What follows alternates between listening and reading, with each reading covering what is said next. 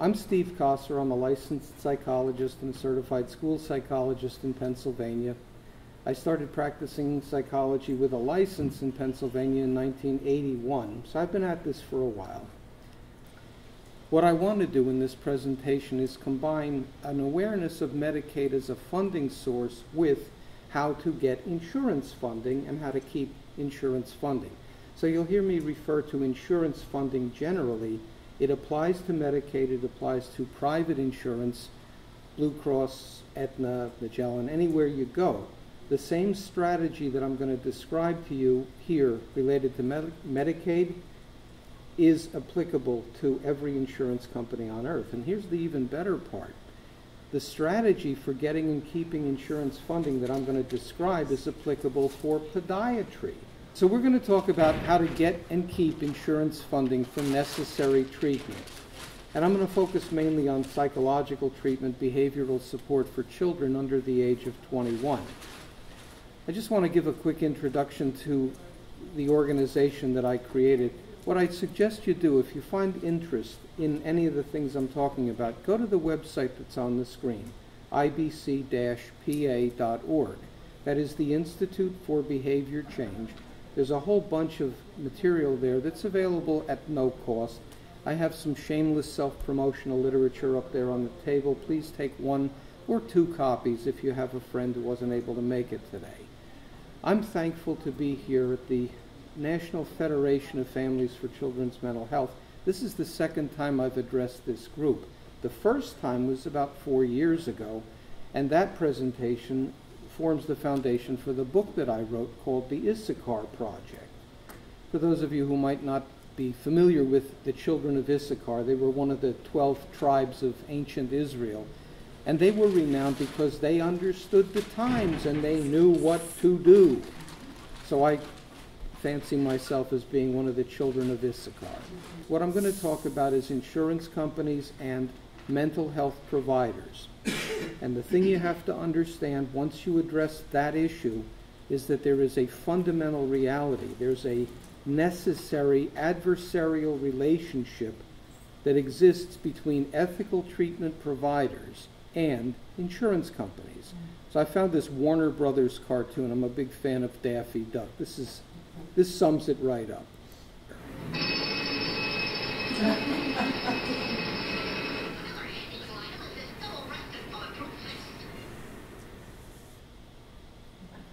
Okay, there you have it. They make bullets.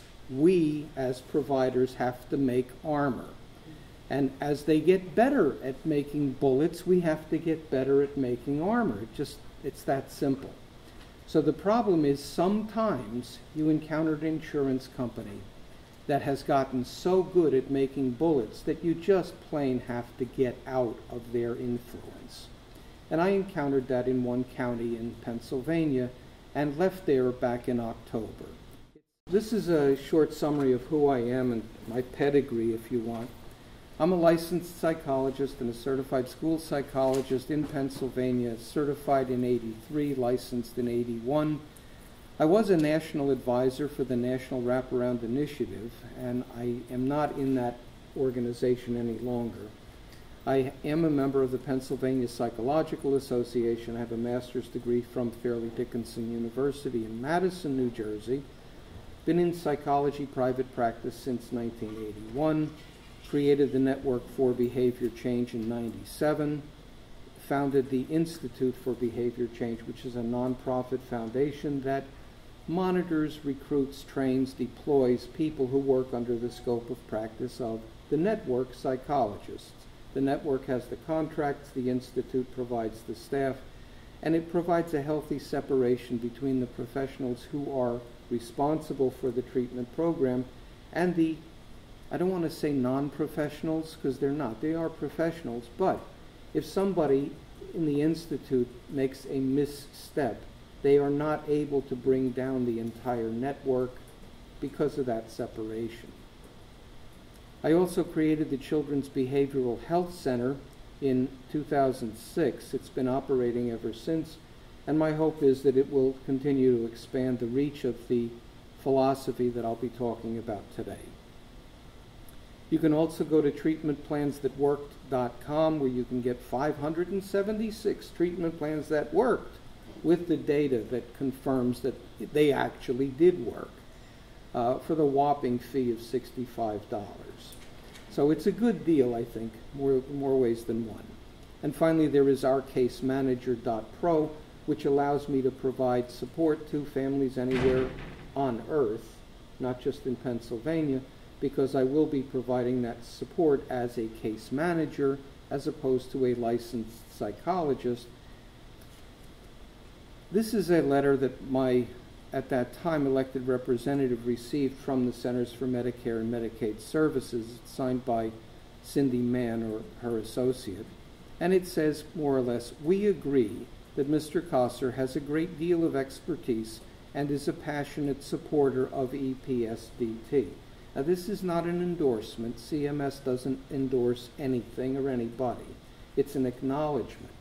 Everything that I've created in the last 20 to 30 years has been sent to CMS for review and approval. So when they say that I have a great deal of expertise, they know from experience that I do.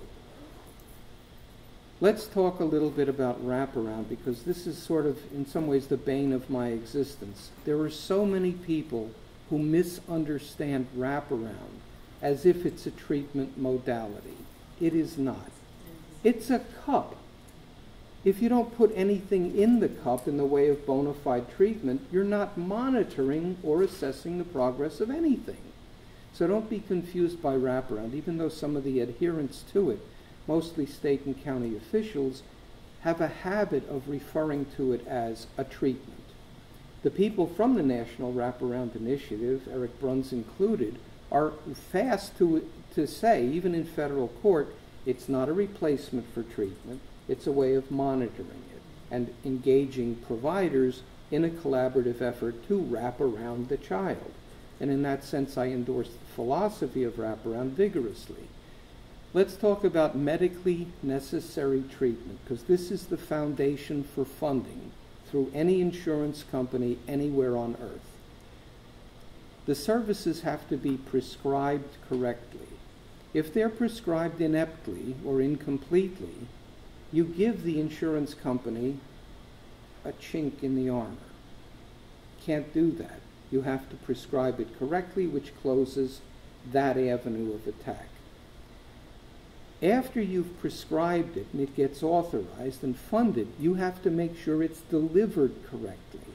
Because if you don't deliver it correctly, you've lied to the insurance company about what you're going to do, and they will fully exploit that opening of the armor. So you have to have a clear understanding of what the rules are for your given insurance company in order to do this treatment delivery process successfully. Now, one of the things to understand is there are two worlds. There is a commercial world that is over here, and they have their own rules about what's medically necessary. And they vary state by state, jurisdiction by jurisdiction, insurance company by insurance company. You have to look at their medical necessity criteria to determine if your treatment plan, your prescription, is written correctly. If it doesn't meet those medical necessity criteria, it's not going to get funded. So when you talk about Magellan or Aetna or Blue Cross or any of those private insurance companies, they are very different from the public insurance companies that are governed by Medicaid and the federal government. Now, I know I'm preaching to the choir because a lot of you are fully acquainted with the difference, but I want to point out that and, and emphasize that the public insurance company, the Medicaid companies, are obligated to comply with the 14th Amendment, and that is equal protection under the law for rich, for poor, healthy, disabled, or anywhere in between. Medicaid is a treatment funding mechanism for disabled people, not just for poor people, as it's often misrepresented to be. Medicaid funds treatment in 33 states, regardless of family income. So, in three quarters of the United States, it doesn't matter whether you're got three cars in the garage and one of them's a Lamborghini. Or if you don't have a garage, you know, and you're dealing with walking to work and, you know, that. Now, we can debate philosophically or morally whether that's reasonable. But it is part of the 14th Amendment that they are entitled to getting free treatment just like every other person who's enrolled in Medicaid.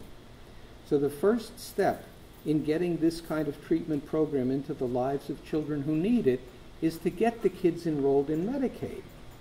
Okay, so you get them enrolled in Medicaid, then they are covered under the EPSDT mandate, early and periodic screening, diagnosis, and treatment, which makes them eligible for funding for any covered service under EPSDT.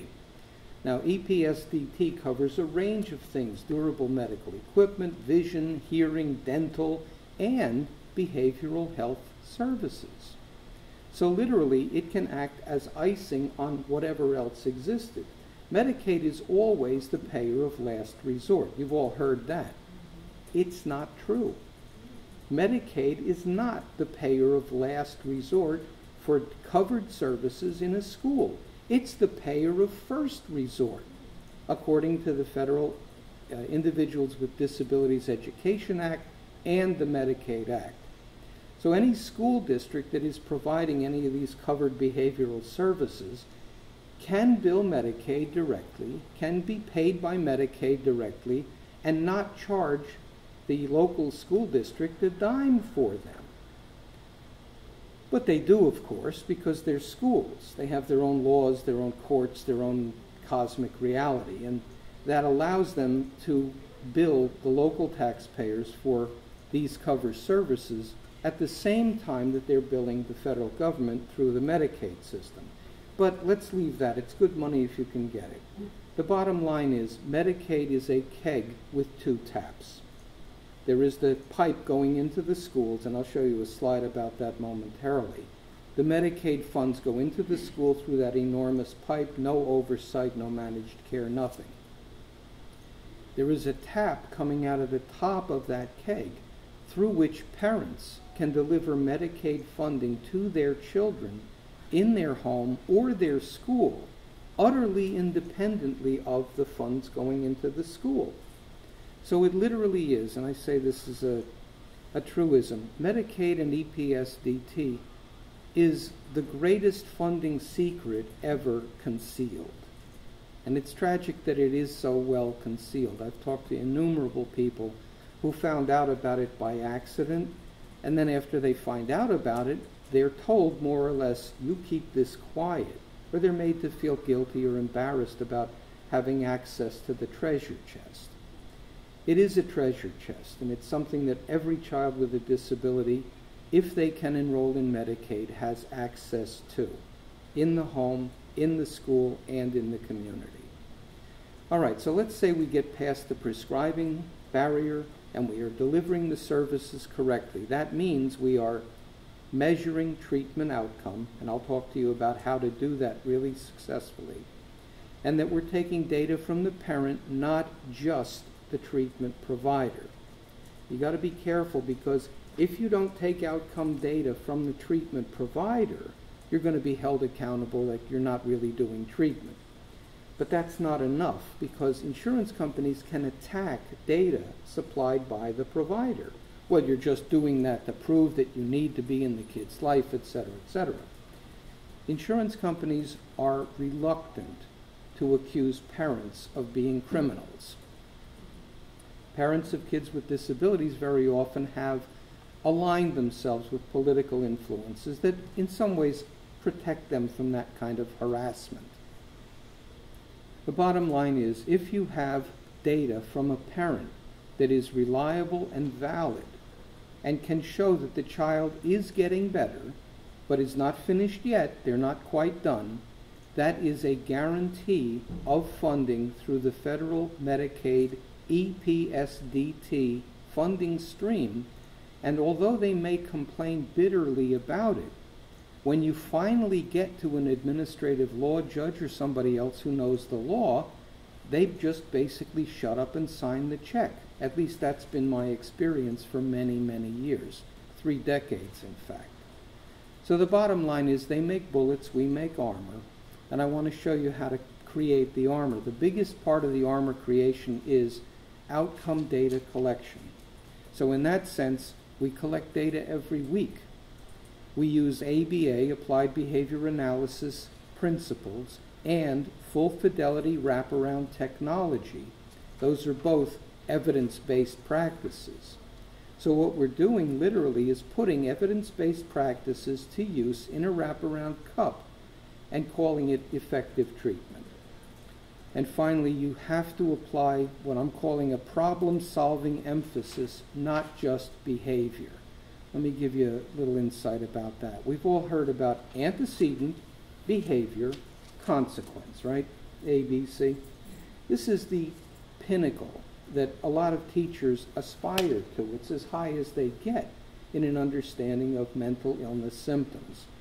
Unfortunately, some of the people with BCBA tattooed to their foreheads aspire to that, exa- that exact same low standard.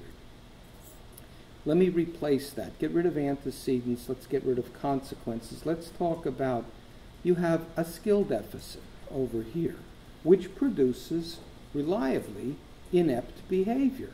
If you don't know how to do anything except some miserable approximation that is so far below everybody else in your peer group, you're going to be stigmatized, you're going to have problems, etc.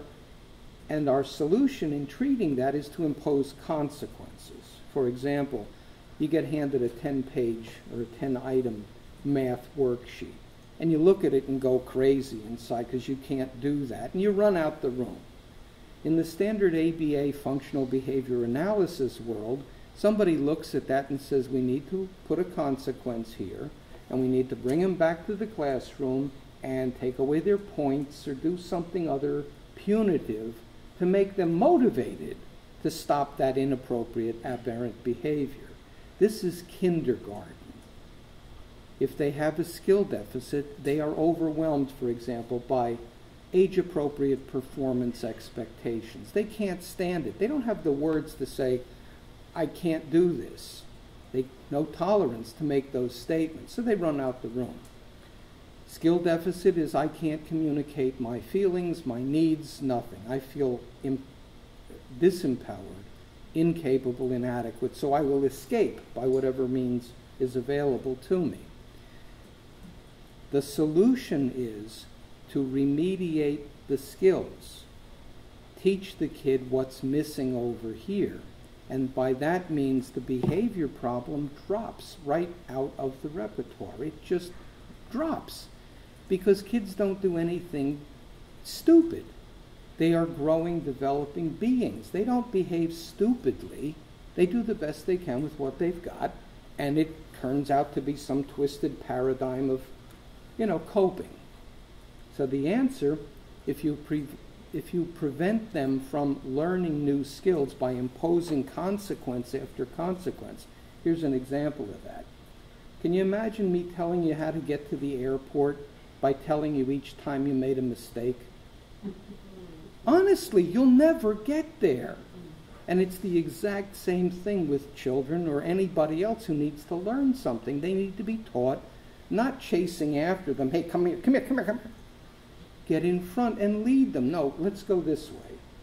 That's what you do if you're a competent ethical treatment provider. Insurance companies don't want you to do that. They want you to collect bean counting data. What was the frequency of his behavior this week? Today? Last hour? Okay, I'm going to show you how to cope with that demand for frequency data in a way that's humane and effective. EPSDT, as I said, started actually in 1967. It's been around for 51 years and counting. You've heard of the Affordable Care Act? That is an attempt to bring EPSDT standards to the population at large. That's really what it is. I was invited to the White House as a champion of change for children's mental health services. Barack Obama wasn't there, but hey, it's the White House, you know? Okay. It was a PR opportunity for the Affordable Care Act. So I put my hand up, 200 people in the room, and I said, I don't know if any of you realize, but We've had an equivalent of the Affordable Care Act in this country for 50 years. It's called EPSDT. And the guy at the front of the room in, from the National Institutes of Mental Health nodding his head, yep. Almost nobody in that room understood that EPSDT funding, and there it all is up on the screen, existed for the purpose of treating maladaptive behavior, in addition to these other things.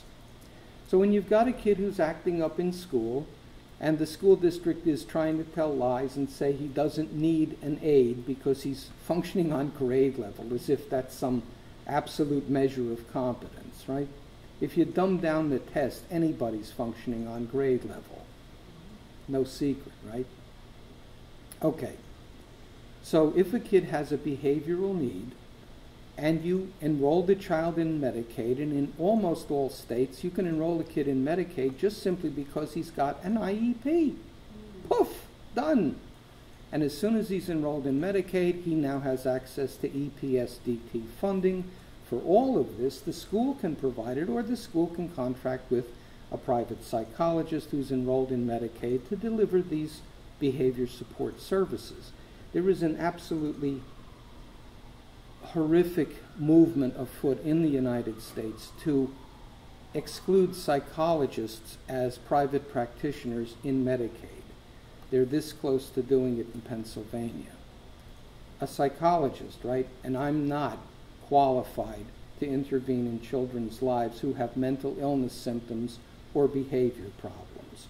WTF makes no sense, but that's what they're doing the schools can tap Medicaid. They do it with reckless abandon, I think.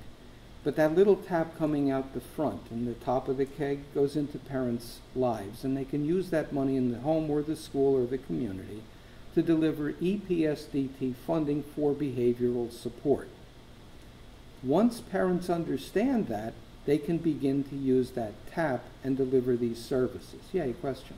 We have a big issue with getting the schools to provide a lot of the service like that? Not, okay, there's two reasons why they may not. The first is the child can't enroll in Medicaid because of the financial barrier. But if the kid is below the federal poverty level, the child, not the family, in 33 states, they can enroll in Medicaid, and as soon as they enroll in Medicaid, by federal law since 1989, they have to be able to access EPSDT funding. The schools, here's the other problem, this is part two. The schools used to sign up for EPSDT and Medicaid terrifically in the 90s and early earlier in this century. They used to sign up, but then they were hit with all kinds of clawbacks because they were doing it, forgive me, stupidly. The kid gets OT, PT, or speech every Thursday, and they just bill every Thursday, even when Thursday falls on Christmas Day. So money was coming back out of schools, you know, 200, I'm sorry, 20 million from New Jersey alone back in the early 2000s. So a lot of schools said, no, no, we're not going to do this anymore. This is an unmanageable program, etc. It's not if you do it competently. And some states don't want to do it competently. Remember I said schools are, have their own courts, their own laws, their own world. And you can't penetrate that world for love of money. What you can do is empower the parent to seek EPSDT funding for their child. And then it's a matter of finding an appropriately credentialed practitioner in that state who can deliver those services. This is how I do consultations all over the place, helping parents know. Let me give you an example. EPSDT is like ice cream. Every state has its version of ice cream. Some put nuts in it, some put caramel on it, whatever, but it's all ice cream. And it has to be stored in a cooled container so it's preserved. You have to tell a parent how to find the ice cream box. And sometimes you have to go all the way to the governor's office to have them tell you who handles EPSDT in the state. More often than not, the state Medicaid agency is the Department of Human Services or some permutation on that. If they lie to you and tell you, no, it's not available, that can be the cause of a civil rights complaint and now the family calls this Office for Civil Rights without a lawyer, and they make a complaint. I'm being deprived of access to federally entitled EPSDT funding, and Washington calls your state capital and talks to the person in the state Medicaid agency and says, What the hell are you doing? This is an entitlement since 89. Stop lying to the people in your state. And poof, the curtain gets raised. Look, the bottom line is if you're an ethical practitioner, you have to do that. It's even saying that in the law. You have to re- report incidents where civil rights are being violated. So EPSDT funding is in fact a civil right. It's in the Social Security Act, has been since 1967. So when you have a family that's being told no you can't, the answer correctly is yes you can and here's how. Now some of the states are getting very creative. They're pulling psychologists off the line and saying you can't do this anymore. Not every state has gone down that dark hole. Lots of states allow psychologists to enroll in Medicaid, be medical assistants, Medicaid providers, oversee behavioral health services in homes, schools, communities. It can be done. And I'll be happy to help anybody who is seeking that kind of support. I really need that support on how to help my families with that. What I wrote was the book, The Issachar Project, that documents all of this stuff. There's a two-page thing in here. Start here, go down this list. It's this, you know, step-by-step process of how to find out where they keep the ice cream and how to get the cabinet open. So it, it's a good resource. It's up, up on Amazon. Send me a note and I'll send you the Issachar Project. You have copies of the Kossor scale over here, a little blue book. That's a summary of the outcome measurement system that I came up with. That'll be helpful as well. This is an important memo. It was sent from the Medicaid agency in Pennsylvania to the Department of Education.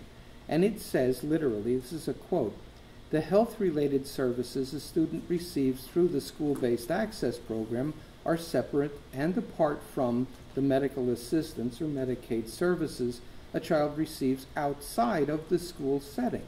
And then it goes on to say that additionally, there is no cap or limit on the total amount of money that may be paid by the MA program for school based access program services or MA services that the MA eligible child may receive. This is federal law. Let me just see if I'm understanding this correctly.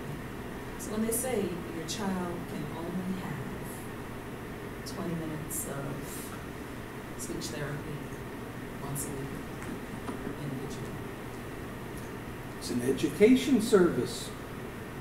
But this is saying otherwise. EP and that The parents have access to broaden that amount of treatment. That's correct. Okay. The parents That's can what I thought say, I heard. Okay. yeah, the Thank you. parents can say, okay, stop telling me there's no money for uh-huh. this. There is, and you people can access it.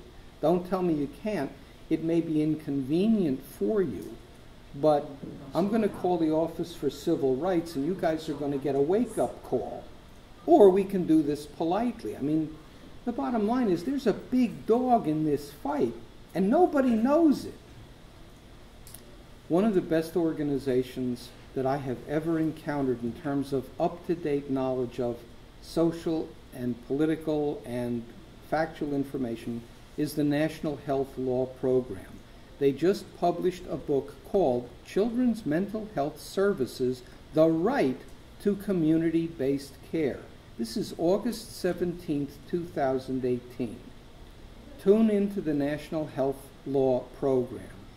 So much of the stuff that I've learned about Medicaid and EPSDT over the years came straight from these guys. Dennis Embry's a, a friend, and he came up with a paper years ago with uh, Anthony Biglan called Evidence Based Kernels. There's 50 of them. And if you embed those kernels into your behavioral health treatment program, now you've got bona fide evidence based practices, and it's another way of closing the armor against being attacked by an insurance company. Use evidence based practices, use ABA, use wraparound philosophy, Do all of those things in your service delivery, prescribe it correctly, and take outcome data smartly. And I'm going to show you how to do that. Just for the sake of argument, in Pennsylvania, this is the model that I'm advocating. A physician is a type 31 provider. That would include a pediatrician. Pediatricians are able to bill for TSS, therapeutic staff support, mobile therapy, behavior specialist consultations in all of its permutations. So you, you recruit a pediatrician and you say, listen, doctor, I know that you recognize the value of behavioral health integrated in your practice. Everybody does.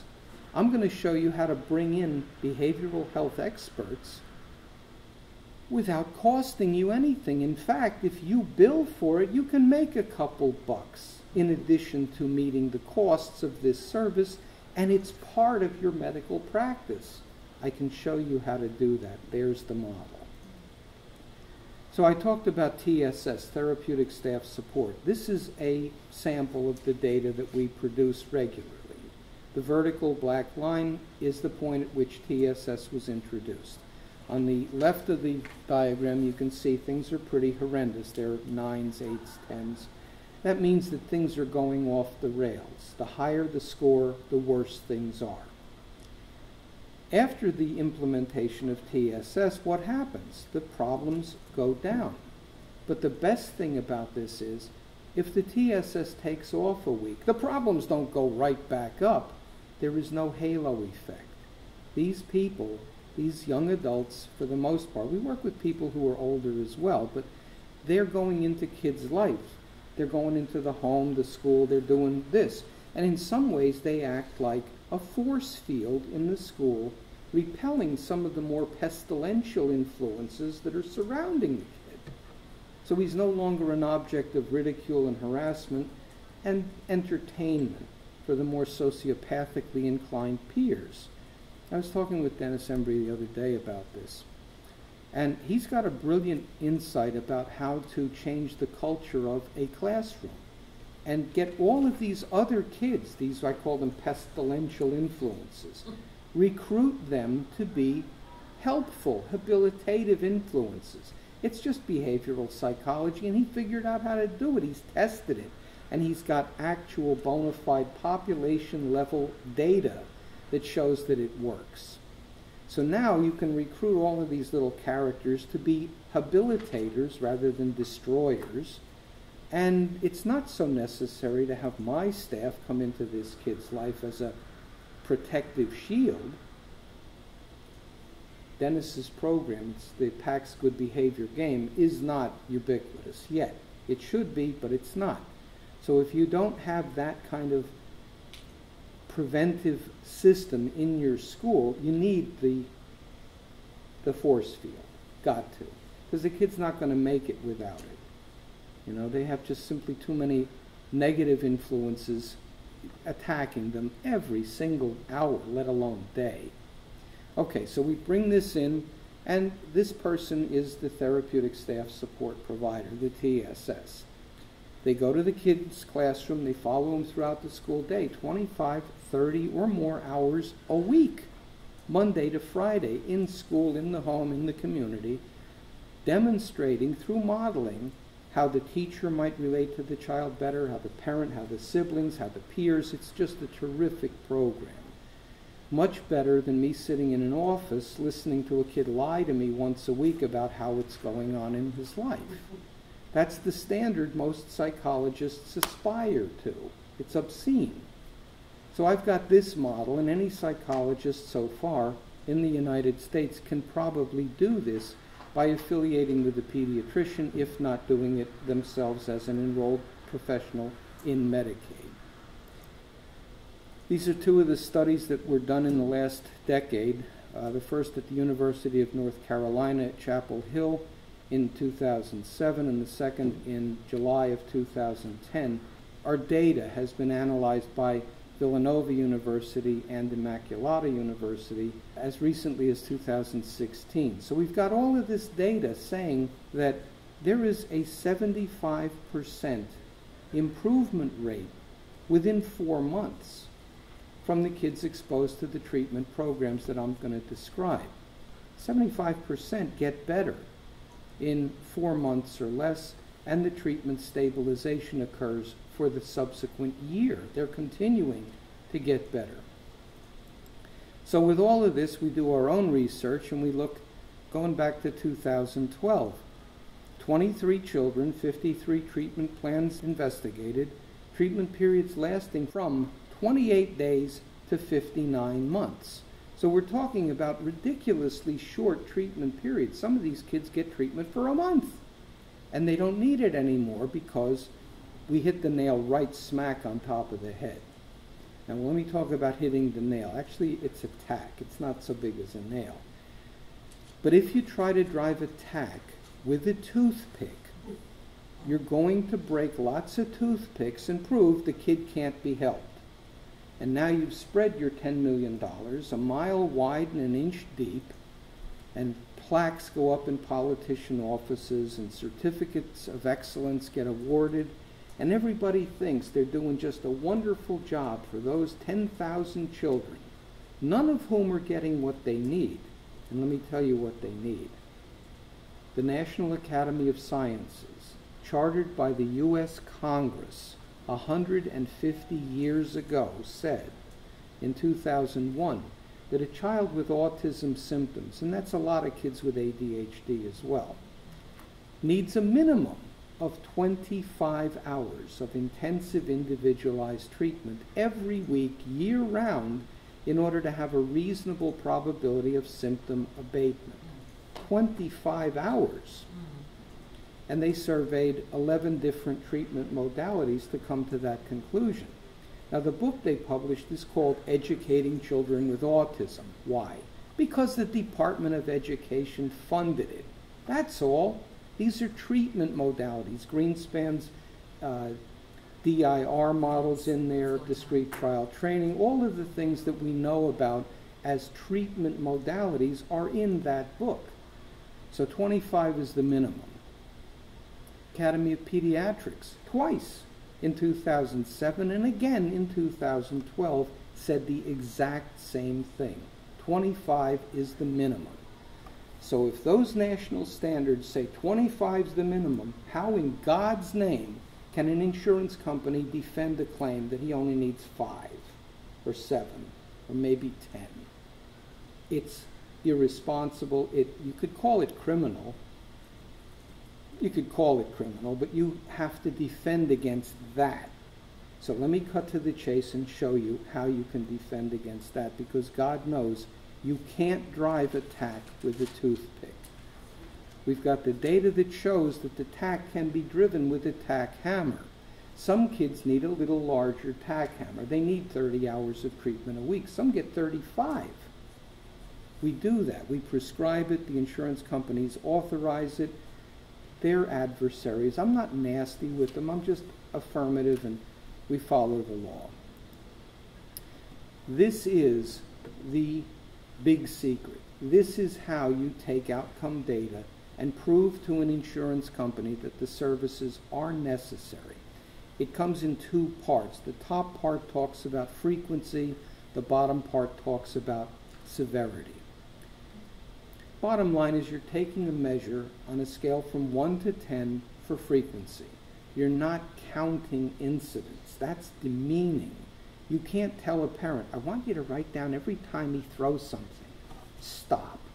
You can't demean a child like that, but you can talk to the parent and say, look, here's a scale from 1 to 10. Once a week, I'm going to call you, and I need you to tell me what the frequency of his throwing things is. And you look at the scale, and it says 0 to 1 is non existent or virtually non existent. Less than once in a month and not worrisome is a 1. Two is the upper limit of normal or tolerable for a child of the same or approximate age. Three is a few times in the past week and almost every week in the past month, that's a three, to every single week in the past month, that's a four. A five is many times in the past week and almost every week in the past month to every single week in the past month, that's a six. So what I'm doing here is I created an interval scale. A score is a four. It's not a five, it's not a six, it's a four. And once the parents can become familiar with this, we laminate this and give it to them and say, look, every week we're going to call you and we're going to use this scale for you to evaluate your child's frequency and severity of misbehavior. Within two weeks, they've got it. Because when we call, we say, okay, Mrs. Jones, last week he was a frequency of three, so he's getting close to being finished. What did he do this week? Three last week. Did it go up? Did it go down? Did it go way up? Wait. And they come up with a number that is reliable and valid. You can reproduce it. You can guarantee if you call or you call or you call, they're going to give you the same number. That's reliability. Validity is does it measure what it says it's measuring? It's measuring frequency. For God's sake, how could it be misinterpreted? So, bottom line, what I'm talking about here is a strategy called Criterion Referenced Measures, CRM. This is how Mrs. Jones in third grade comes up with a grade for her kids. They've been doing this for hundreds of years, criterion referenced measurement. Instead of giving the kids a test and you using a norm reference measure like an intelligence test, comparing this child with all of these other kids across the world at the same age, stop. You're giving the kid a test on how well did he master the, the curriculum that was presented to him two weeks ago in this class criterion referenced measurement. If you use an interval scale to do criterion referenced measurement, you have a statistically reliable and valid means of monitoring progress. That's the big secret.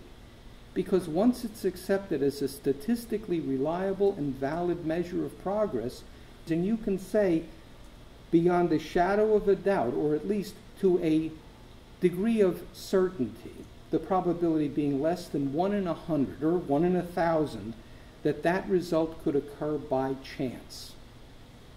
You have now documented through a single subject with repeated measures, experimental design, using a reliable and valid statistical assessment of outcomes to say whether or not the kid is getting better, is getting worse, or has stayed the same. This is the answer to a prayer for a treatment provider. Who can say that? Nobody except if they use the Kossor scale. Ta da! Okay. So frequency is only half of the scale, the other half is severity. So again, you want to measure from Mrs. Jones' perspective, and it's very important that you measure it from the parent's perspective, not the teacher, not the principal, not the guidance counselor, and certainly not your own staff, because God knows they'll cook the books just to keep their job, right? Or at least that's what the insurance companies will claim. But I have yet to hear an insurance company say out loud, the parents are lying. They're inflating the scores so that they can keep these incredibly intrusive services in their home, in their life. That's crazy. Parents don't want to have our staff in their home bothering them. And, you know, now schools are another story. They may want our staff on site big time because they think that absolves them of responsibility for doing what they're supposed to do in the school. No. We actually tell parents what they're entitled to from the school.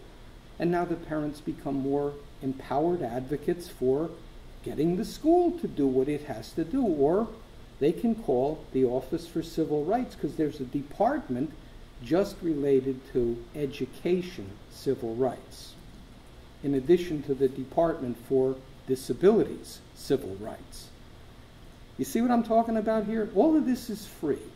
All of this is without a lawyer. All of this is extremely effective because once the school district superintendent gets a call from Washington saying basically, What the hell are you doing? things change. And sometimes parents get the phone call and says, all right, look, for you, but for you, get it? Exactly. You've seen that. Exactly. working with youth though that in, um, social services, Oh, and you don't have a parent to be getting the data from, who are you? One of the strategies that has been used in some states is the most heinous thing I can imagine. They sick children and youth on families who are too troublesome. And the family gets evaluated by some character who accuses the mother of having Munchausen's by proxy. The kids are taken from the family, distributed to the foster care system. It's egregious, doesn't even come close to measuring it. Most states have abandoned that requirement that you have to give up custody of your kid in order to get treatment. Most states have. If you're in a state that hasn't quite dawned into the modern era, you know, they're still walking with their knuckles dragging. If they have not graduated into the modern era, call the Office for Civil Rights and say, look, 80% of the United States doesn't subject parents to this level of cruelty and abuse. And frankly, it's wrong for the people in this state to continue to be subjected to it. There's no database that says that giving custody over to the state enhances outcomes. In fact, it may very well suppress outcomes. There's no end of stories about kids going into foster care, not getting the level of care and attention that their parents had been giving them, and dying in that system. So it's just plain indefensible that it happens. And, you know, hopefully we can actively promote a more sane model for child development. It may be a political battle rather than a, a treatment battle, but you know, sometimes politics you got to go outside of the state, and that's where the Office for Civil Rights can come in very handy. Let's talk about the severity ratings because that's an integral part of treatment outcome measurement. It's not just how often it happens, it's how bad it is. So you can see a 0 to 1, the behavior's not worrisome. There are either no or almost no negative consequences imaginable. That's a 0 or a 1. 2, again, is the upper limit of normal or tolerable for a child of the same approximate age. Now, parents can say it's tolerable. Now, you or I looking at it might say, oh, God, that's at least a 3, if not a 4. But we're not the parent. We can't take over. We can plead with them and say, look, he could be so much more mature. He, you know, don't throw us out yet because we're monitoring the kid's outcome. When he gets to a two, we're finished. We'll be happy to leave, and we're telling you up front, we want to leave when he gets to a two. A three, the child's behavior is severe enough to worry you almost every time, that's a three, to every single time. Now, we, we talk about worry you. A five or a six, you characterize the child's behavior as very serious. It's an order of magnitudes higher. It's not just worrying, it's now very serious. A seven or an eight is alarmingly serious, so it's another order of magnitude higher. And a nine or a ten is okay, it's catastrophic. A ten is a hospital admission. A ten is a death. He actually killed somebody. So, do you work with kids who are at the 10 level? Hell no. EPSDT funds children who can be maintained safely in their home and community. If it starts heading up an 8, a 9, at that point you have to go for a placement in a safe setting before it hits a 10. So it's got this built in emergency alarm system that goes off. Now, here's the best part are my staff taking data every week themselves? They're taking data every day. So if Mary looks at the child and says, geez, he's a six or a seven, easy. So we'll take our data and it's a six or a seven. If mom says it's a 10, it's a 10, it's a 10, at that point we have to talk to the mom and say, look, you, you don't have to make the alarm that loud. He doesn't have to be a 10 to get help if you keep saying he's a 10, he's a 10, he's a 10, you're defining a flat line. The kid's not getting better. Either that or he's dead. He's a machine. He's a piece of wood. Well, even wood grows until you kill it. So there's variance in the system. It's never this, this, this, this, this, this, the same. Right? So you help parents understand that. You're actually giving the insurance company proof that you're lying. Okay, Mrs. Jones? And if we're saying it's a six or a seven, you need to see things our way, or we're not really helping you, are we? Because you're supposed to be collaborating with us. That isn't we agree with you. We don't run a deli. You don't come in asking for a hoagie with no mustard and we slap it together here to get paid. That's criminal. That's actually fraud. We're making it satisfactory to the parent to do what they want. Wait a minute, we're the professionals.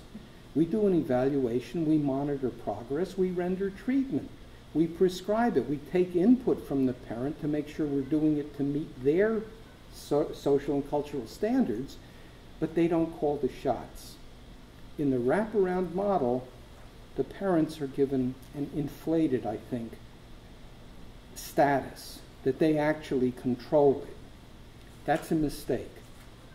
We need to listen to parents, and they have the ultimate authority to say, get out, you do it my way or the highway, and then we as professionals have the authority to say, we've done as much as we can. We wish you and your family well, but we can't operate under these circumstances because that's not ethical. If my staff aren't the most knowledgeable people when they go to a meeting about behavior change, there's a screw loose. So you put the PAX good behavior game in the school if you can, and that'll help terrifically for everybody. But when you've got a kid who is already off the rails, you've got to bring a more intensive individualized treatment program to bear. And that's where my staff come in, funded under EPSDT. We take this outcome data. Now, here's something that some people bring up. Well, wait a minute, you're doing services in a school. How can you ask the parent what's going on? Well, implicitly that says the parents have no clue what's going on in the school. Oh my God. That's a prescription for disaster. You have to put the parents in an authority position because the IEP, remember, it's a contract between the school and who? The parent to coordinate the education of the child. The school doesn't take the kid and say, We'll teach him. Thank you. See you. They can't legally do that. They have to engage the parent. So my staff show up and the school goes, oh, thank God we've got somebody to monitor Billy. Well, yeah, we monitor Billy, we help Billy, but we also empower Billy's parent to be a more viable force in that child's education, and now she's calling for a due process hearing. The parents need to understand how much power they actually have. And you always tell them, you don't make noise, you make persistent and polite input. That's all. And you do it from a standpoint of knowledge and power. Put your feet on the ground. Don't jump up and down. Just make your point. And if the school doesn't listen to you, wait for it. The Office for Civil Rights will. Guaranteed. Okay. So it's all power politics and it's just understanding the law and, and what you can tap to move the ball forward in a responsible and professional way. That's all I'm advocating for. So here's a behavior record form that my staff ask the parent to fill out every week. They call Mrs. Jones and say, okay, Mrs. Jones, let's talk about Bobby. How frequently did he hit people last week? And they write down, using the frequency scale, using the severity scale, those numbers always a number between 1 and 10, and it just accumulates over the course of time.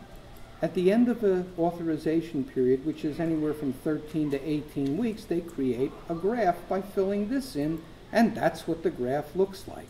So you can see at the very top here, where it went off the charts, it went bad. That's when grandma came to live with the kid in the home. And grandma's rules trump everybody's, right? Of course they do. She's grandma. And that's when things go off the rails, when there is inconsistent parental supervision or guidance. We turn this page 90 degrees, and the staff on these lines, which are now horizontal lines, they write in other events that happened, like how close were you to the child on average this day when you gave your intervention? So now we're measuring proximity. If the proximity increases and the staff is doing their good work from a greater and greater distance, that's called titration. We're making it less potent because it's from a greater distance. And the other side of it is they're also recording the hierarchy of prompts. Did you have to, to physically move the kid? That's physical guidance. Did you have to put your hand on the kid? That's physical prompting. Did you have to just verbally tell him what to do? Could you do it with a gesture from across the room, like, you know, zip it, you know, whatever? If the kid's listening at this distance and at this low level of prompting, what more do you need to show? You need to move out of the kid's range, still monitor him, and if he doesn't need your help for four consecutive weeks, that's when you stop delivering 25 hours a week of treatment. You don't listen to some soothsayer channeling Nostradamus saying, well, in four weeks he's going to need 20 hours, and then four weeks later he's going to need 10, and four weeks later he's going to need five. What the? That is that an ethical practice of anything? In the absence of data, how can you make predictions like that? You can't, unless you work for an insurance company and you get a pass. That becomes magically an ethical practice of psychology if you're working for an insurance company. How? There's loads of parents all over the country who say, I wish you could come too. Well, the simple fact is, I can. Not physically, but I can be a case manager advising all over the country, and that's what I want to do. Because all I have to do is get one pediatrician in Arkansas on board with this, and now he hires 30 behavior specialists. I can even do the billing if I need to. It's all electronic. So I can oversee it remotely and quality assurance. Can you imagine what this could turn into? It really could be the best thing that ever happened in so many kids' lives. You know, I'm thankful to be back here where I'm talking about this again. Well, just so you know, you inspired me Mm-hmm. in doing better in my job. And I'm Good. really, it really sinking in and I'm really gonna. There is so much, as providers, we really, most of us have no idea how many cards we can play. I mean, you know, it's a five card hand, you know, and they only dealt you three cards. Wait a minute, I got two more. And now you're playing with a full hand. That's what I'm showing you, right? Yes. Okay. Here's how my staff take data. Every single hour, there was nobody at the kids' school from 8 to 9, but 9 to 10, there were three episodes where Madeline showed a lack of safety awareness. And from 10 to 11, there were two episodes. You see what they're doing? They are counting beans. God knows you got to count beans. But when the day is all said and done, they're also measuring how close they are to the child on average. And they're also measuring the level of prompting that they had to use. And they're taking numbers, counting up the number of times that this lack of safety awareness was manifested. And this measures the amount of replacement behavior in the safety domain that the child displayed. So, bottom line is by taking data at this level, they can definitively say to Madeline's mother, look, your kid's doing a four at most, maybe a five at. We can come to a consensus accurately with a single number that characterizes your kid's frequency and severity.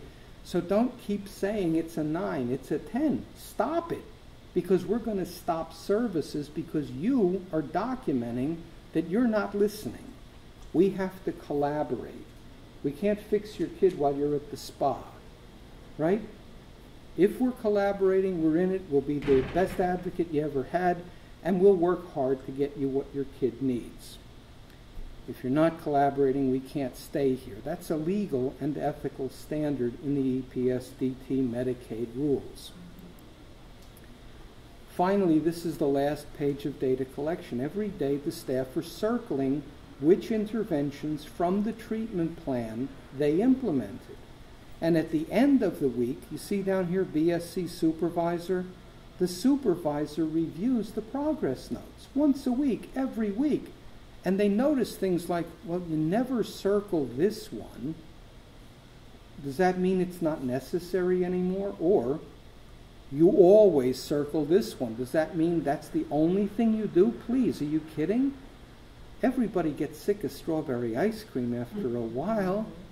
You know, you've got to change it up. You've got to respond to the kids' practices. And if you do that, that's called applied behavior analysis. So here is the frequency scale, and here is directly from that data sheet that I just looked at. So according to this, Madeline shows a lack of safety awareness by mouthing objects, eloping from caregivers, and not responding to the word stop. And when you look at lack of safety awareness, you rate it on this scale for frequency, and then you rate the next thing in terms of severity, and you do that across the board for all of this behavior. And at the end of that, you come up with the graph, and you know how close the staff was, and you know the level of prompting they used, which is not actually displayed on this graph because we just added that to the graph. This is an evolving system that I keep improving. Every time I do one of these talks, it's like, oh, wait a minute. Yeah, we could do that too. It's another layer of armor. Because the insurance companies are getting good. They're using armor piercing rounds. And you've got to be able to beat them. And it's all described in the little blue book that's over there. Um, please take, if you want, take two copies. It sells for the whopping cost of 15 bucks on Amazon.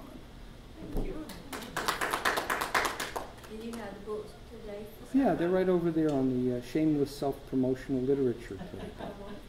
Yeah, take two. Yeah, you, you, you guys, the National Federation is a terrific advocacy organization. So you're the best people to take this resource with you. You know, use it, pass it around, help other people use it. And if you work in Pennsylvania, wake them up in Harrisburg, tell them to stop trying to throw psychologists out of Medicaid, mm-hmm. behavioral health. Mm-hmm. All right, Thank you. thank you.